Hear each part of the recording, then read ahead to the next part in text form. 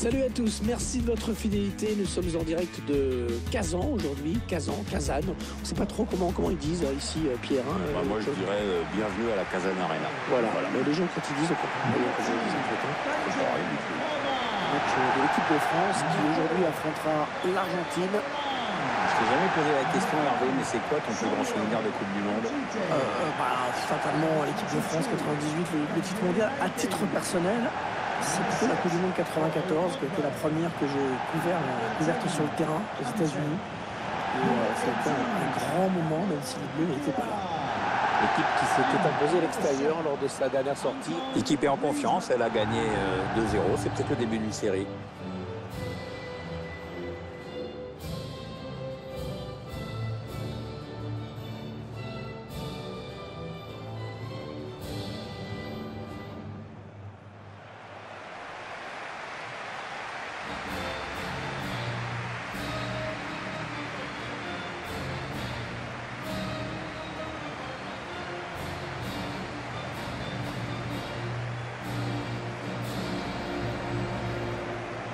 La Kazan Arena qui a eu euh, droit à un avant-goût de la Coupe du Monde en accueillant plusieurs matchs de la Coupe des Confédérations 2017. Ouais, notamment la demi-finale perdue par les champions d'Europe portugais face au Chili.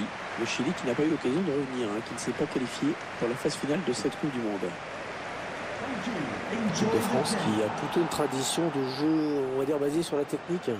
C'est vrai qu'on a produit euh, des magnifiques meneurs de jeu, hein, Copa, Zidane, Platini. Cette fois, ça y est, Pierre, le coup d'envoi vient d'être donné. Ah, depuis le temps qu'on en parle de ce match, hein. enfin il commence. Tu sais qu'il attendait hein, cette composition définitive de l'équipe de France pour ce match. Voici les titulaires. Sur votre écran, la composition. Attention à la frappe. C'est touché hein, par le défenseur. Ce sera un corner.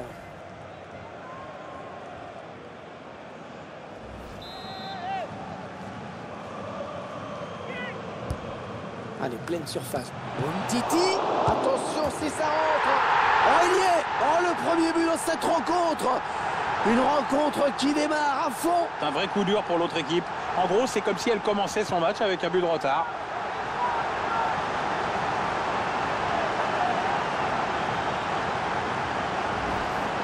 On va revoir le, le but au ralenti avec ces très belles images et une belle combinaison. Le gardien qui est un petit peu malheureux sur cette action. hein. La première parade n'a pas suffi et derrière, le buteur est idéalement placé pour la mettre au fond.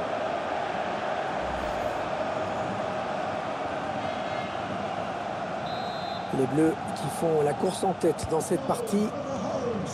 Pizarro.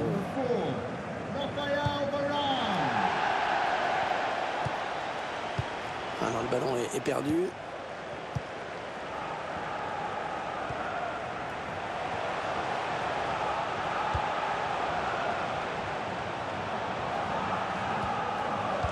Ouais,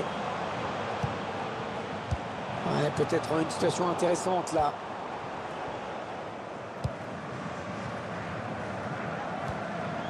Mascherano. Paul Pogba. Kanté. Ousmane Dembélé. Peut-être une bonne opportunité. Attention. Fekir. Et ça fait but. C'est dévié par le poteau. Mais ça termine dedans.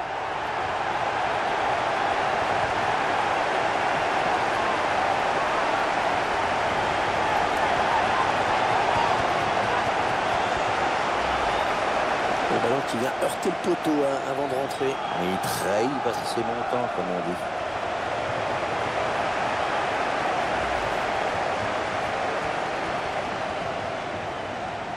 2-0, ils ont à présent une avance confortable. Number 18, Fazio. Fabio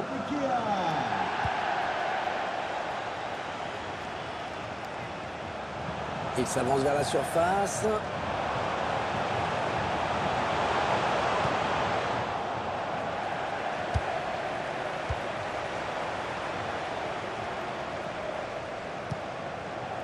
Paul Pogba.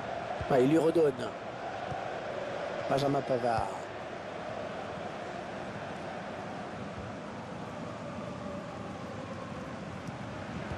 Pogba. Dembélé. Allez, les Français, il faut se créer l'occasion. Javier Mascherano.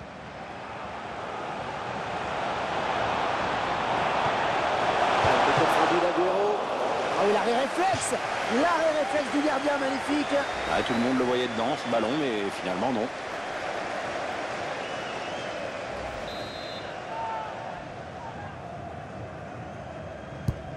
Allez, le corner est tiré au cœur de la surface. Fazio. Otamendi.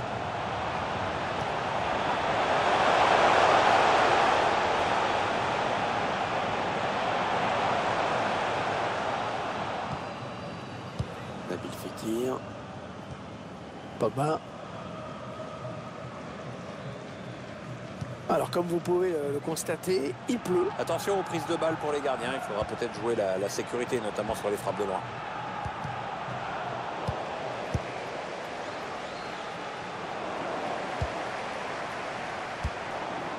L'équipe d'Argentine dans un match sans but. On va voir si ça va se débloquer. Paul Pogba. N'Golo Kanté. Ouais, bien joué la remise. Il y a certainement quelque chose à faire là pour l'équipe de France. Ouais, bon hein, il lui a pris le ballon. Fazio. On a déjà vu dans le passé quelques équipes surprises hein, arriver en, en huitième de finale, euh, même si elles ont été ensuite éliminées. Ouais, encore, pas toujours. Regarde le Costa Rica au Brésil, il a fallu les, Pays-Bas pour les arrêter en quart et encore au pénal. Bappé. L'équipe de France qui se rapproche de la zone dangereuse. Et il est dépossédé du ballon.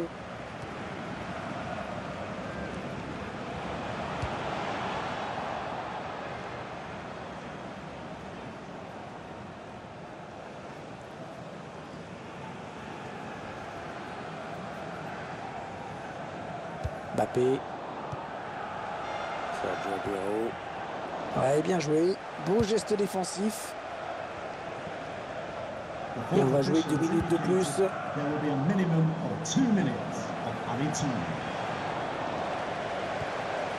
Kanté. Pogba. L'Argentine hein, qui a le ballon maintenant. Nous n'en sommes qu'à la mi-temps de ce huitième de finale. On a quand même l'impression que c'est déjà plié, hein, Pierre. On ne voit qu'une équipe sur le terrain et il y a vraiment peu de chance pour que le scénario change en seconde période.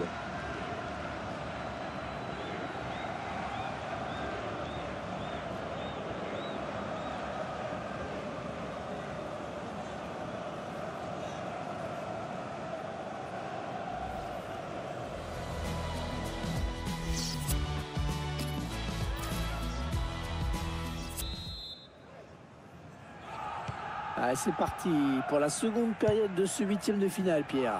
Ouais, au coup de sifflet final, l'une des deux équipes sera en vacances, carrément.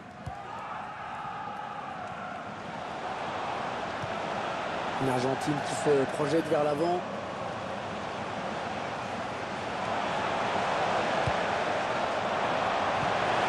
Ah, bien défendu. Ce ballon récupéré sur l'aile. Ouais, la passe est interceptée, le ballon est perdu.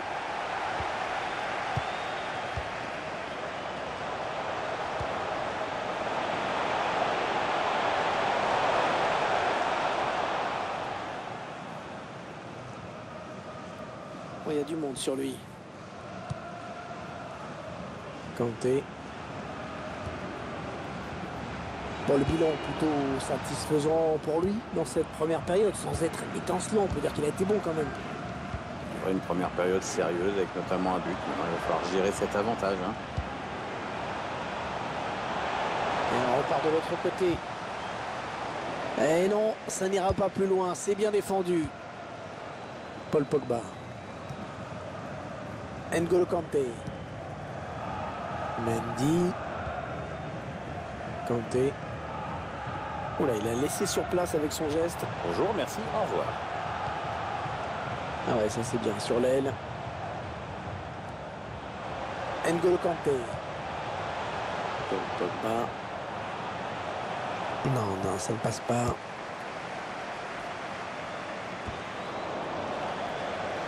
Pogba. On s'approche de la zone de vérité. Là, il continue, Pogba. Ah, la parade du gardien.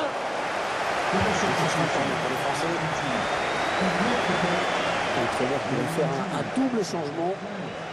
And number 14, Javier Mascherano. Coming onto the pitch, number 9. Allez, pleine surface, le corner de Griezmann. Le dégagement pour éloigner le danger.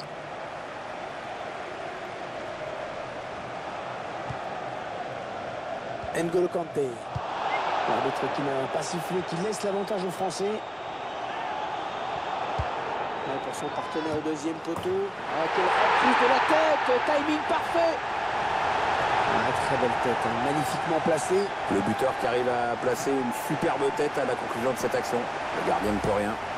Ah, belle tête, hein, Pierre. hein. Superbe, il met exactement le ballon où il a envie de le mettre. Très belle détente en plus. Peut-être mieux voir ce qui s'est passé.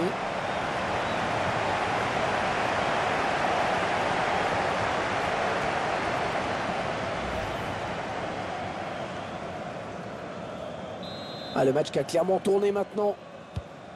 20 minutes à jouer dans le temps réglementaire.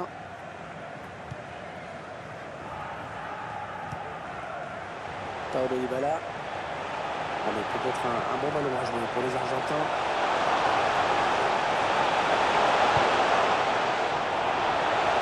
Oh, il y a des solutions, il y a danger. Voilà, c'est chaud, c'est chaud avec Messi. Oh, tout en finesse, c'est parfait. Quelle preuve de sang-froid.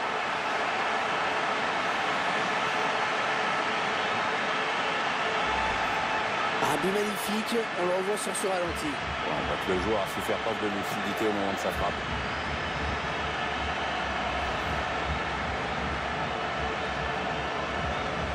Ça fait maintenant 3 buts à 1 au tableau d'affichage.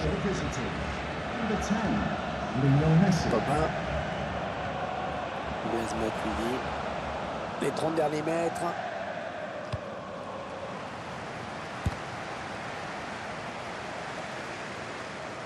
Et l'attaque va s'arrêter là.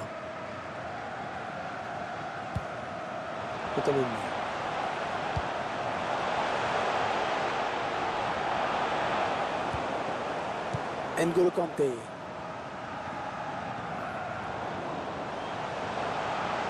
Et les Argentins à l'attaque. Messi. Lionel Messi qui appartient déjà à l'histoire du jeu. hein. Premier joueur de l'histoire. Messi qui prend sa chance. Oh le poteau Et le ballon qui sort après. Un joueur qui sort en saluant ses supporters. Je le trouvais bon, moi. Je me demande vraiment pourquoi l'entraîneur le fait sortir. Plus que 6 minutes à jouer dans le temps réglementaire.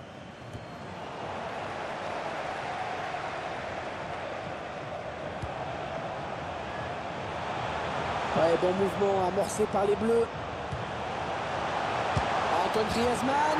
Oh, le but Oh, le but pour les Français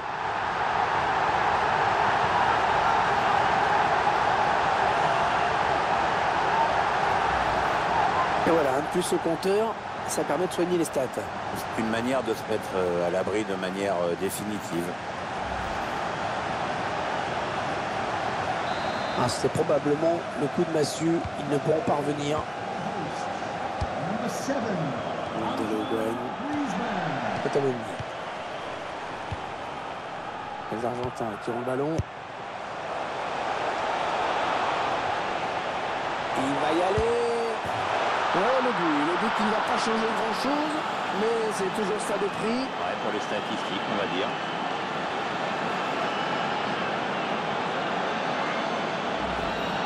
Mais ce but dans les arrêts de jeu, il ne changera rien à la donne, hein, Pierre. Ouais, bah, le match est déjà plié. Bon, bah, ce but leur fait plaisir, c'est pas pas mal. 4 buts à 2. Nouvelle évolution du score, on se régale. Bon, c'est un but euh, de consolation. Oui, c'est vrai, lorsqu'on regarde le score. Voilà, c'est terminé. Et voilà, mission accomplie. Dans ce huitième de finale, on retrouvera bien ces joueurs en quart. Ouais, ils ont bien géré ce premier match à élimination directe. On leur souhaite maintenant de bien préparer le prochain. Ça arrive vite. Un petit mot peut-être sur la prestation d'Antoine Griezmann? Bien, il a fait un match intéressant. Sur le plan personnel, il a marqué, mais je crois qu'il doit être surtout heureux de la victoire de son équipe. Et quant à Léo ici, il a su tromper le gardien et sur une autre action, il a touché les montants, mais l'adversaire s'est montré plus fort.